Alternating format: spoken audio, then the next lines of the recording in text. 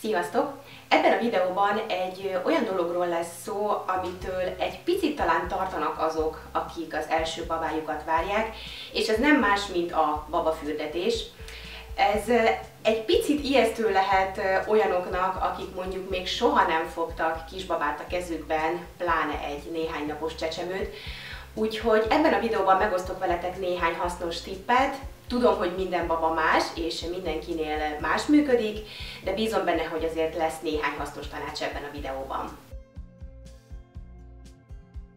Az első tanácsom az az, hogy próbáljatok meg kialakítani egy fürdési rituálét, egy fürdési rutint, vagyis legyen az egésznek egy folyamata, hogy miután mi következik.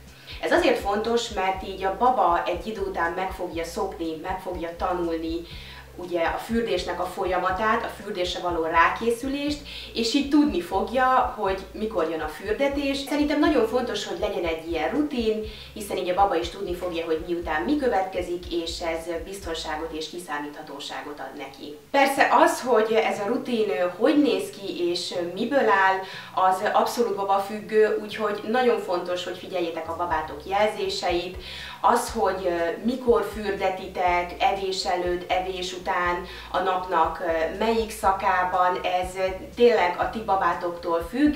Lehet, hogy kell néhány nap, vagy akár néhány hét is, mire kitapasztaljátok, hogy neki, illetve nektek hogy jó, de mindenféleképpen legyetek türelmesek, és akkor biztos, hogy meg fogjátok találni, hogy mi az, ami mindenkinek jó. Eléggé fontos kérdés babafürdetésnél, hogy mennyire legyen meleg a víz, ugye milyen legyen a víznek a hőmérséklete, és erre az a válasz, hogy testhőmérsékletű legyen, tehát 37 fokos, és ezt legegyszerűbben a könyökötökkel tudjátok ellenőrizni, én a vízhőmérőt egy abszolút felesleges dolognak tartom, de hogyha valakit ez megnyugtat, akkor vegyen és használjon ilyet nyugodtan. Viszont abban is biztos vagyok, hogy ha nem megfelelő a hőmérséklete a víznek, azt észre fogjátok venni, ugyanis a babátok eléggé egyértelmű hangjelzéssel a tudtotokra fogja ezt adni. A másik kardinális kérdés az az, hogy ugye mennyire legyen mély a víz, vagyis hogy mennyi vizet engedjetek a kádba, és az az igazság, hogy ezt is ki kell tapasztalni, de az biztos, hogy az első napokban, hetekben nagyon kevés vizet kell engedni a kádba, tehát nagyjából maximum 8 centi legyen. Az a lényeg, hogy a babának az arca az a víz felszíne felett legyen mindenképpen. Később, ha már ugye nagyobb bacska és megszokta, illetve megszerette a fürdést, akkor lehet akár több vizet is engedni, és akkor jöhet már a lubickolás.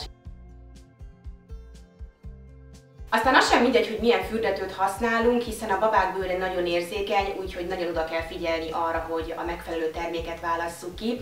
Én jó szívvel tudom ajánlani nektek ezt a Baby Doll fürdetőt.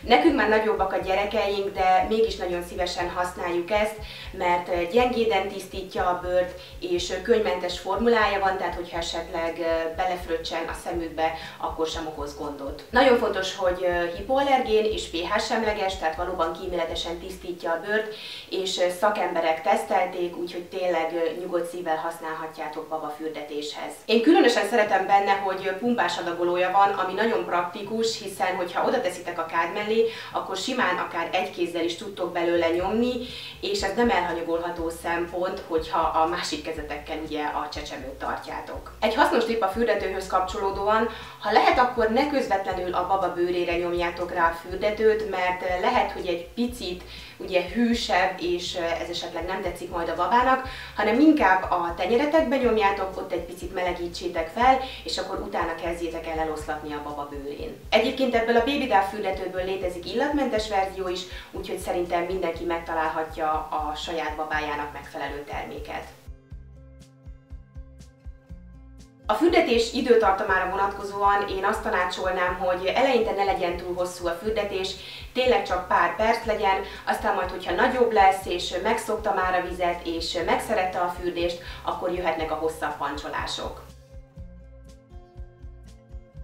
Ha végeztetek a fürdetéssel, akkor egy nagyon puha törölközővel itassátok fel a baba bőréről a vizet, de nagyon fontos, hogy nem szabad dörzsölni, tényleg csak ilyen kis nyomogató mozdulatokkal itassátok fel a vizet, és nagyon figyeljetek a hajlatokra, hogy ott is rendesen töröljétek át a bőrét. És a végére hagytam a legfontosabb tanácsot, ez pedig az, hogy nem kell félni a fürdetéstől, ne legyetek bizonytalanok, hanem legyenek határozottak a mozdulataitok, hiszen ha ti bizonytalanok vagytok, akkor azt a baba is meg fogja érezni, hiszen érzi minden egyes rezdüléseteket, és akkor biztos, hogy senki nem fogja élvezni a fürdetést. Ennyi lett volna ez a mai videó, remélem, hogy hasznos volt és tetszett nektek. Hogyha igen, akkor nagyon örülnék neki, hogyha nyomnátok egy lájkot, illetve írjátok meg kommentben, hogy nektek mik azok a tippek, amik beváltak a baba fürdetéshez kapcsolódóan. Köszönöm, hogy ezúttal is velem tartottatok, legyen szép napotok, sziasztok!